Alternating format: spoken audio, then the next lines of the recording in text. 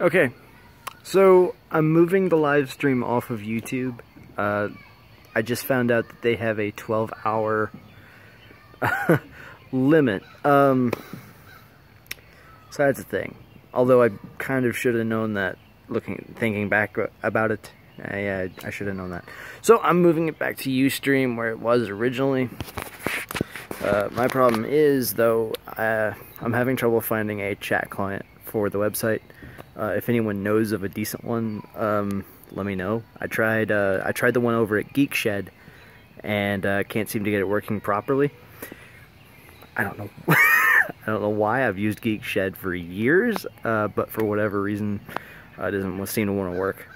Um, so yeah, just uh, letting you know what's going on.